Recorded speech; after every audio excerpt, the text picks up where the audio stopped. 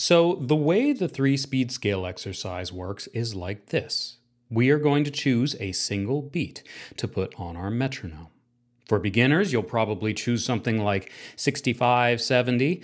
Um, I'm choosing a kind of lower side 80, which would be for this. Just as an example, when I play this exercise when I'm warming up, um, it's usually at something like 120 or 125. And what we're going to do with this beat is we are going to subdivide it with our scale playing in multiple different ways. We are first going to play two octave scales in eighth notes. Then we're going to play three octaves of triplets. And finally, we're going to play four octaves of sixteenth notes. Now, we end up working on three main things with this exercise, doing it like this. First, and, and definitely of greatest importance, is we learn accuracy and confidence with subdividing our beat. Um, you will learn to switch between the different subdivisions, the different note values, eighth notes, triplets, and sixteenth notes, very, very effectively when you do this right. If you are not doing it right, you'll get off with the beat um, and you will know it very quickly. So that's definitely the first primary thing that we're working on.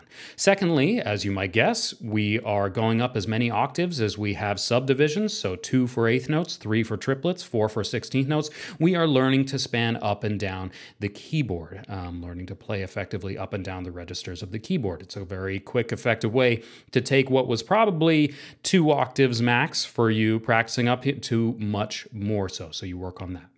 And finally, despite it being in the name of the exercise, um, we it's more of a happy coincidence, we'll call it, than an actual goal, though it is an objective. Um, we get faster right that's how music generally works is that if you really want to get faster at a certain point you can only take the beat so fast it makes more sense to subdivide it um, though of course there are exceptions to that um, some forms of jazz very justifiably have very fast beats, for example, but for the most part, getting faster entails more subdivisions. So that's basically it.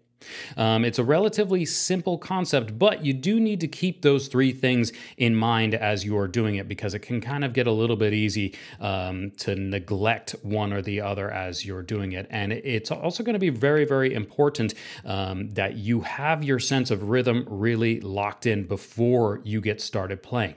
Um, a great mistake I see um, in many, many students who try and do this is that they start thinking about the beat with their fingers before they have thought about it effectively with their brain. So, the first thing to do once you've chosen your beat, like I said, for this lesson, I chose a nice mellow 80 to demonstrate with. Let me go ahead and put on my metronome here. What I'm going to do before I even start is get my subdivided rhythms, right? So, we're starting with eighth notes.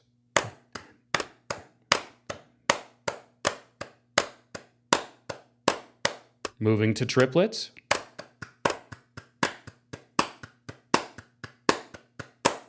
And finally going to 16th notes.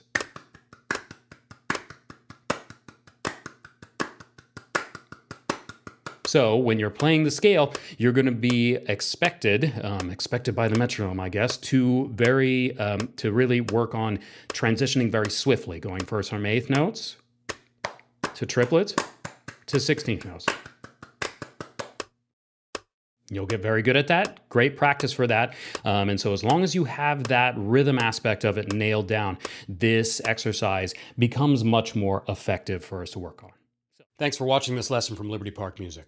If you enjoyed this lesson and learned something from it, do us a favor hit that like button. And if you really liked it, share it around. Let your friends and family check it out too. If you want to find more lessons like this or explore other piano related topics, please come visit us at libertyparkmusic.com.